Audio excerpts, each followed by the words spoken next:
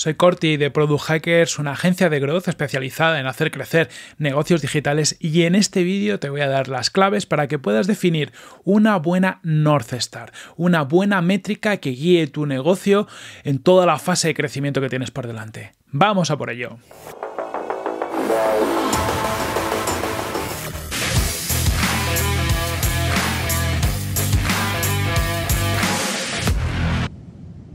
Si todavía no sabes lo que es una North Star, te recomiendo que visites nuestro vídeo donde explicamos el concepto de la North Star y donde damos ejemplos para que tengas claro este concepto. Y a partir de ahí ya tiene mucho más sentido que profundices en cómo definir una buena North Star. Definir una buena North Star, bueno, no, es tan fácil como parece. Estamos muy acostumbrados a métricas más directas como los ingresos o que no están tan centradas en el valor aportado a los usuarios. Entonces este proceso requiere que nos hagamos una serie de preguntas para que no acabemos eligiendo una métrica que nos va a guiar en la dirección equivocada. Entonces, básicamente siguiendo los puntos que vamos a comentar eh, ahora, vamos a ir desgranando y vamos a ir pudiendo filtrar aquellas métricas que encajan o no encajan y nos van a facilitar la vida a la hora de encontrar cuál es nuestra métrica adecuada.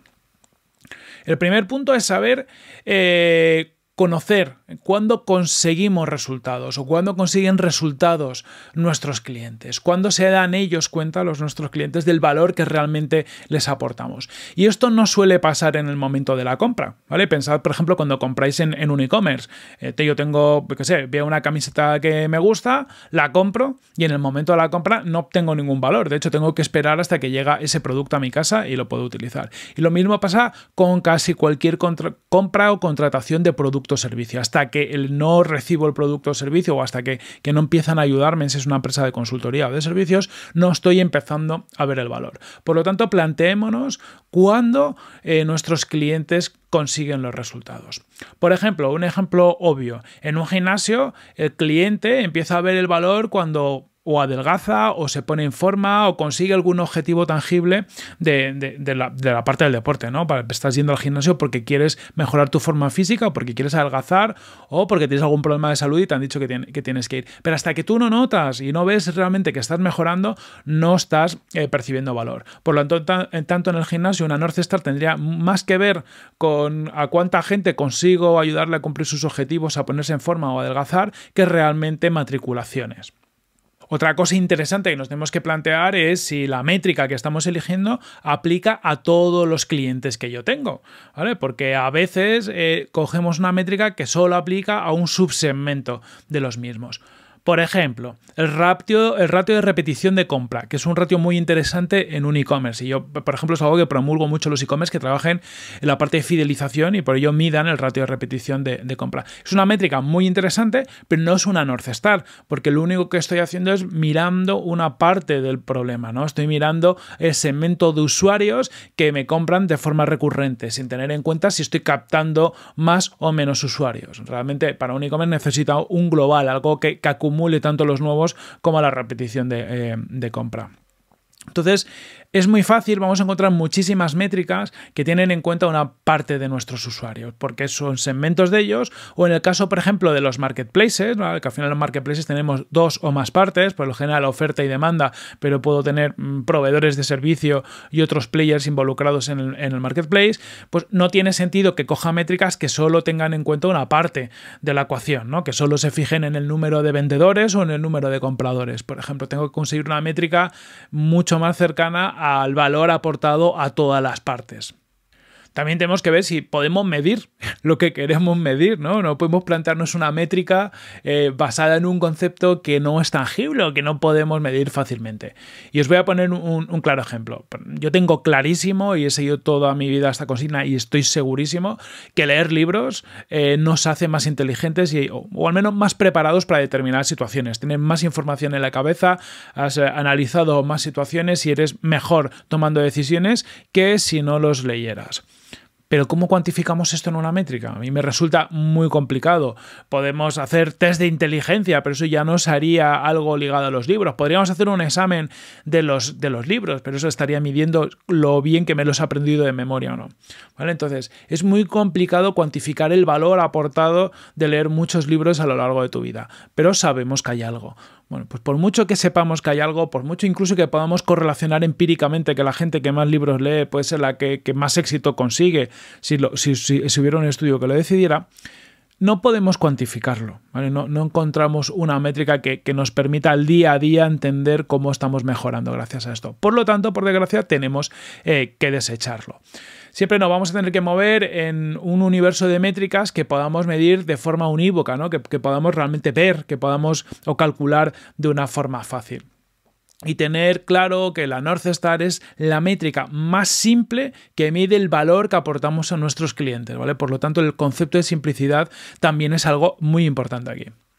Muchas veces la North Star tiene intrínseco un concepto de frecuencia, porque voy a medir una métrica en un periodo de tiempo. Puede ser un periodo diario, puede ser un periodo semanal, puede ser un periodo mensual, podría llegar a ser un periodo anual, aunque por lo general lo que buscamos es entender cómo va variando nuestro negocio en el corto plazo, ¿vale? Tenemos una visión, si lo medimos año a año, eh, perdemos capacidad de acción.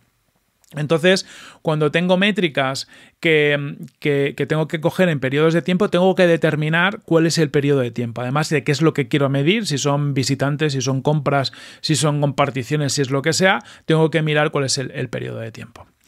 Por ejemplo, y para aclararlo, las redes sociales, Facebook, Instagram, Pinterest y demás, suelen tener métricas que se centran en datos diarios. Por ejemplo, es muy común hablar de DAOs, o Daily Active Users, usuarios activos diarios, o de WOWs, que son Weekly Active Users, usuarios activos eh, semanales, o MAUS, que son Monthly Active Users, que son activos, eh, usuarios activos al mes. Esto te da una idea, el usuario es que ha accedido a la plataforma, que ha interactuado y nos da una idea de, bueno, de, de, todo el volumen de millones o miles de millones de usuarios que pueda tener la red social, cuáles realmente están accediendo.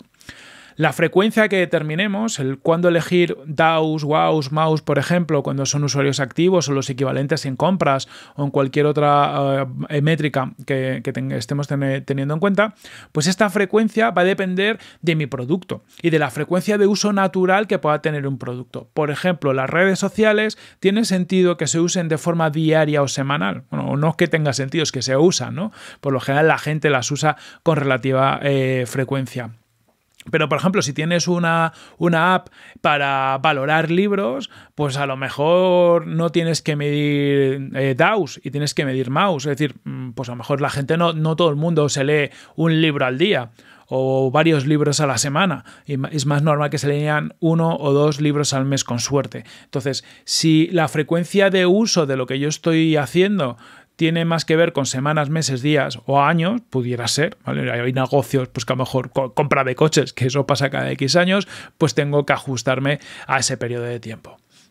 La North Star también me tiene que permitir obviar factores externos, ¿vale? Muchas veces eh, nuestro negocio le va mejor o peor en función de cosas que pasan fuera. Por ejemplo, a día de hoy, los que estamos en el mundo digital, pues estamos teniendo por lo general mayor demanda, porque debido al, COVID, pues hay más demanda de todo lo que es digital, en remoto, a distancia, tanto lo que es e-commerce como servicios de, como hacemos en Product Hackers, ¿no? Que ayudamos a las empresas a vender más en canales digitales. Pues está guay. Eh, si pasa esto, es una ventaja que tú tienes, es algo que puedes aprovechar puntualmente, pero tu North Star no tiene que estar vinculado a esto. Otro ejemplo, por ejemplo, las empresas logísticas eh, dependen bastante del precio de los carburantes, porque al final tienen flotas de vehículos que, gastan gasolina, diésel o, lo que sea, eh, y que eso eh, va a valer más o menos en función del precio del, petróleo. Pues bueno, pues el precio del petróleo, el precio de los carburantes puede tener, ser una variable importante para calcular la rentabilidad, pero no puede tener su North Star de un, como una relación directa con este concepto, porque no lo puedes controlar. La historia es que tú no puedes tener guiarte por una métrica que no puedes controlar eh, directamente. Luego, a veces sucede que, y esto pasa por ejemplo en empresas de comida a domicilio, pues bueno, que vendes más cuando hace mal tiempo, cuando llueve se vende más, o cuando hay eventos deportivos, tipo partidos de fútbol. Aquí entonces tendremos que ser capaces ya a nivel operativo táctico de detectar estas oportunidades. Por ejemplo, si sé que hay un partido Madrid-Barça, pues voy a meter más pujas en, en, AdWords porque va a haber más gente buscando comida a domicilio. O si sé que hace mal o que va a hacer mal tiempo este fin de semana porque lo veo en la previsión del tiempo, pues también meteré más pujas, estaré más preparado. Tendré alguna métrica que tenga en cuenta estos factores, pero no puede ser mi North Star algo que dependa de que tenga un año más lluvioso o menos lluvioso. Tenemos que tratar de evitar las externalidades. Bueno, parece obvio, pero tenemos que conseguir una North Star, una métrica que esté ligada al crecimiento. Y esto, bueno, aunque parezca obvio, nos encontramos muchas veces con empresas que quieren guiarse pues, eh, con eh, variables métricas que tienen más que ver con el top of the funnel, ¿no? Por ejemplo, con, pues, con visitas, con descargas y este tipo de cosas que no siempre están correlacionadas con el crecimiento. Y vamos a ver un, caso muy, muy claro. Por ejemplo, los periódicos. Los periódicos online, al fin, parece que cuanto más usuarios tengan, más dinero van ingresar, pero no es la realidad. Muchas veces ellos tienen vendido un porcentaje de su, de su publicidad y, por, a lo mejor si ya han vendido toda la publicidad del mes y tienen más tráfico y les está llegando más tráfico, pues a lo mejor no son capaces de vender ese stock o no de venderlo a precios razonables, porque por lo general venden un porcentaje de la publicidad de forma más cara que la que venden directamente y luego utilizan intermediarios para rellenar el resto. Pues a veces tener mucho más tráfico me va a suponer un mayor coste porque tengo que aumentar servidores y este tipo de cosas, pero no voy a conseguir un mayor beneficio gracias a ello. Por lo tanto, en estas situaciones tengo que ligar huir un poquito de esto. Otra cuestión que nos tenemos que plantear cuando estamos evaluando una métrica como North Star Metric es si varía fácilmente. No queremos métricas que apenas cambien con el tiempo, métricas demasiado estables, pero tampoco queremos métricas que sean extremadamente eh, volátiles. Queremos una métrica que, cueste un poquito variarla, eh, pero cuando la varíe me esté demostrando que tengo una mejora de negocio eh, a largo plazo.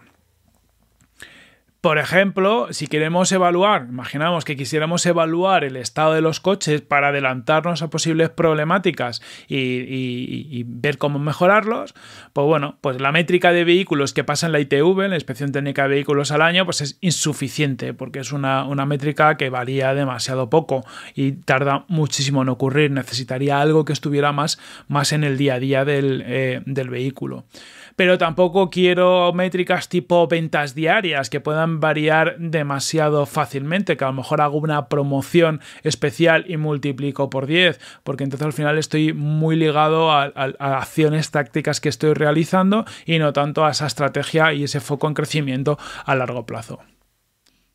Y por último, pero no por ello menos importante, tenemos que evaluar si la métrica que estamos eligiendo, esta North Star que va a guiar nuestra compañía, es algo que podamos descomponer.